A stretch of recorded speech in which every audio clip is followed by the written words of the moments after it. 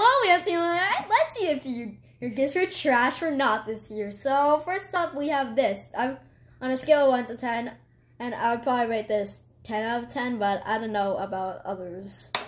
And then, and then I'm gonna say this is eight out of ten, but Dad will probably rate this as ten out of ten because his favorite thing is Skittles. I was just saying. And what do you And say? then la- lastly, these beef jerkies.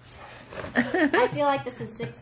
I feel like this is six out of ten, but dad, for dad, this is also ten out of ten. this is also ten out of ten.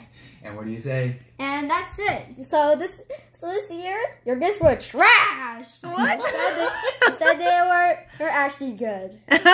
oh, you mean last year? Yeah. What was what was last year that was trash? emergency underpants? do I need seriously? Do I need to explain more? And what do you say? Anyways, thank you for for the for these gifts, uh, and thank you for not making them absolutely trash. Okay. okay, that's it. Cut. Cut.